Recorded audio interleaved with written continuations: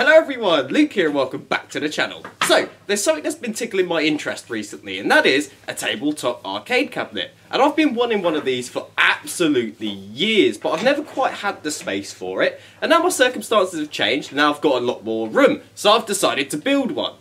So, let's talk about this a little bit more.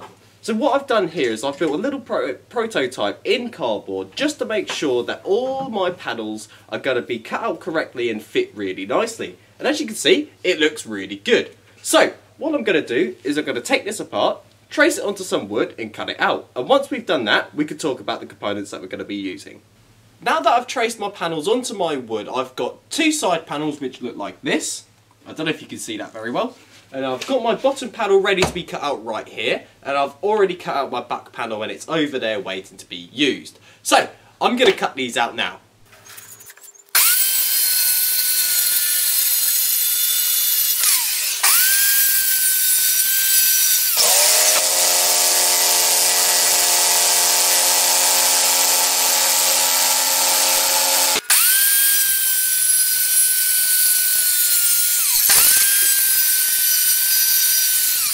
So with all the main panels cut out, what I've done is I've attached the bottom panel and the back panel together. This means I'm able to get my side panels and make sure that it's all nice and square and it lines up really nicely, which it does. So what I'm going to do now is I'm going to paint this with a primer coat and just let it dry. And this is what I'm going to be using.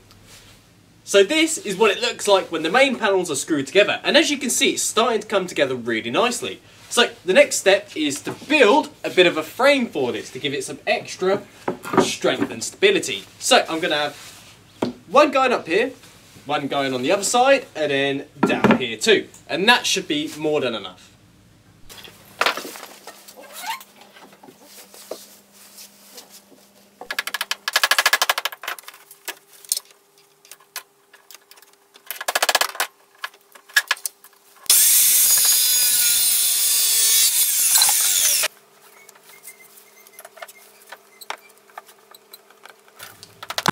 So now that I've done the majority of the frame for the main panels, it's time to start on the control board.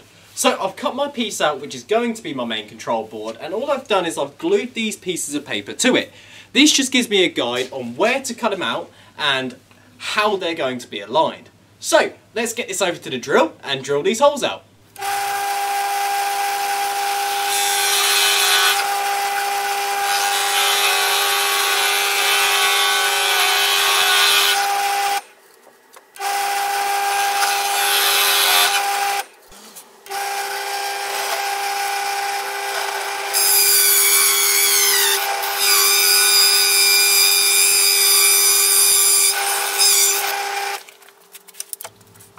And there you have it. There's the control panel with all the buttons and joysticks cut out. And I have to admit, this looks really good. So what I'm going to do is give the top a coat of primer and then I'm just going to let that dry. So there we go, this is what the control board looks like when it's all nicely primed up. And what I've done is I've screwed it into the main cabinet. And as you can see, it's all starting to come together now. You can really tell what it's starting to look like. So the next part that I have to do is build this top bit right here, which means I accidentally made this a little bit too big, so I have to chop it and match the angle, and then we can get on with that. So, let's do it. Now that we've chopped this top bit off right here, it's starting to really look like an arcade machine. So, the next step is to actually build the frame for the monitor that I'm going to be using. And this is actually going to be quite simple, so let me show you how I'm going to do it. So, the idea to hold this screen up is actually pretty simple. So I've got this little back brace here, which the top of the monitor is going to lean on. And then what I'm going to do is build a little bottom brace out of this pine right here. So it actually has something to sit on. And when it's on, it will look something like this. So let's get that done. So that is what the bottom brace looks like. So now that I've got my monitor sitting exactly how I want it, there's only a few things that we've got to do before we realistically finish this cabinet. The first thing is to make a little panel that goes onto the top to enclose this bit. The second thing is to cut a nice bit of pine that matches this angle so we don't have this gap in between the monitor and the control board. And finally is to cut the acrylic to size because this is going to be our glass. Right, so let's get on with it. So now that I've got this top bit cut to size and I'm happy with it, this is going to be our access panel. So I'm just going to secure it down with four screws that I'm able to take out so I can take this top bit off. Right, so now let's have a look at this acrylic.